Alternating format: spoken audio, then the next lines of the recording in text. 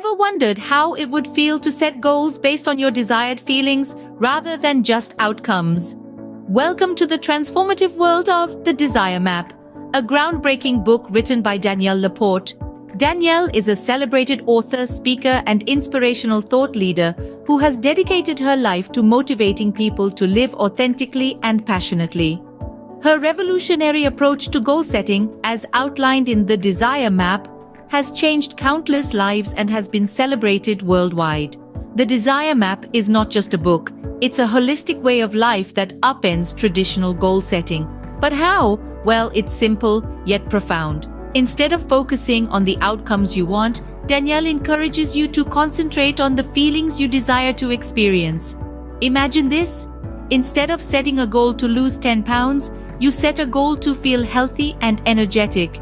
Instead of aiming to earn a six-figure salary, you aim to feel financially secure and content.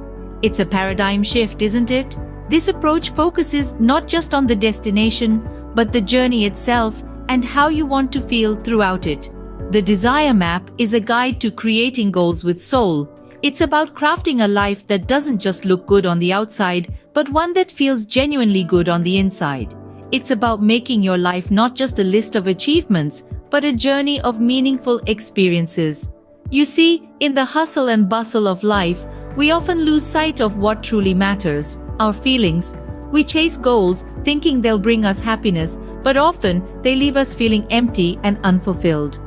The Desire Map flips this narrative by helping you create goals that are rooted in your desired feelings, ensuring that every step in your journey brings you joy and fulfillment. So, if you're tired of traditional goal setting and yearn for a more satisfying and soulful approach, the Desire Map is for you.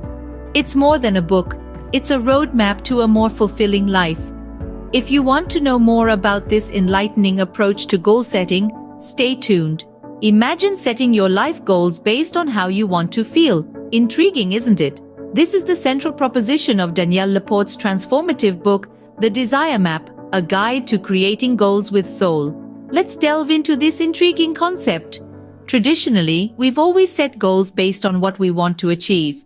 Climbing the corporate ladder, purchasing a dream house, or running a marathon are common examples. However, Laporte suggests an innovative approach. Instead of focusing on the outcome, we should focus on the feelings we want to experience. She calls these our core desired feelings. Think about it. We don't want a new job for the sake of having a new job, do we? No, we want a new job because we believe it will make us feel accomplished, secure, or excited. We don't want to run a marathon just to say we did it, but because we believe it will make us feel strong, determined, or proud. It's not the achievement itself we're after, but the feelings that come with it. So instead of setting goals like get a promotion or buy a house, we should be setting goals like feel accomplished or feel secure. This way, we're not only more likely to achieve our goals, but we'll also feel more satisfied once we do. After all, what's the point of achieving a goal if it doesn't make us feel the way we want to? Laporte's concept is all about creating goals with soul. It's about recognizing that our feelings are the driving force behind our ambitions, and that by focusing on these feelings, we can achieve more fulfilling and satisfying outcomes. Instead of being driven by societal expectations or external pressures, we're guided by our own inner desires. This approach turns the traditional goal-setting process on its head. It's not about what you want to have, it's about how you want to feel. And when you start with the feeling, the path to achieving your goals becomes clearer, more focused, and ultimately more rewarding. Now let's dive deeper into how this concept works. How do we go about setting goals based on feelings? It's a fascinating process. Imagine a world where your goals are not dictated by societal norms or external pressures, but are instead deeply rooted in how you want to feel. Danielle Laporte in her groundbreaking book, The Desire Map, introduces us to such a world. She outlines a unique process for setting these feeling-centric goals, a process that is as intriguing as it is transformative. At the heart of this process is the idea of focusing on your desired feelings. These are not fleeting emotions or passing whims, but deep-seated desires that resonate with your soul. Laporte believes that by focusing on these desired feelings, we can set goals that are more aligned with our true selves. The Desire Map process is structured around five key areas of life. These are livelihood and lifestyle, body and wellness, creativity and learning, relationships and society, and essence and spirituality. These areas serve as the foundation for setting your feeling-based goals, ensuring that they encompass all aspects of your life. Let's delve a little deeper into these areas. Livelihood and lifestyle encourages you to consider your career and the way you live. What feelings do you desire from your work and your everyday life? Body and Wellness asks you to focus on your physical health and well-being. What feelings do you want to experience in your body and through your health? Next, we have creativity and learning. This area prompts you to think about your intellectual growth and creative expression. What feelings do you desire from your learning and creative pursuits? Relationships and society encourages you to consider your connections with others and your place in the world. What feelings do you want to cultivate in your relationships and your societal interactions? Finally, essence and spirituality asks you to delve into the deepest parts of your being. What feelings do you desire from your spiritual journey and your connection with your essence? By focusing on these five areas and identifying your desired feelings within each, you can create goals that resonate with your soul. This is the beauty of the Desire Map process. With this process, you can align your goals with your soul. What could be the advantage of setting goals this way?